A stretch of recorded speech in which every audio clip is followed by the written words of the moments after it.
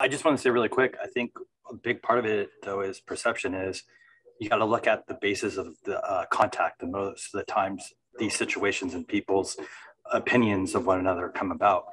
You know, we're not called to the birthday party. It's not a, uh, you know, this experience. People walk away because it's a pleasant experience. But a lot of times, people are having their communication with law enforcement is at a critical moment. It's from the very minor if they've been pulled over because they're going to get a ticket, which they don't want, to a domestic violence, to a stabbing, to a shooting, to a robbing. And we're called to that situation to bring control, to bring order to that situation. So we do have to bring that authority to bring it under control.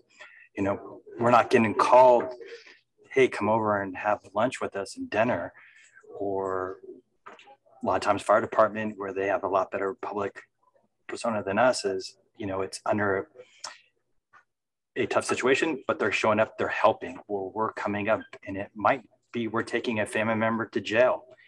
So that they're you know the basis of our contacts a lot of times with the majority of the public is not usually the, the, the base element is not a good element and that there can be very uh, decisive on how people are going to feel about law enforcement long term and short term.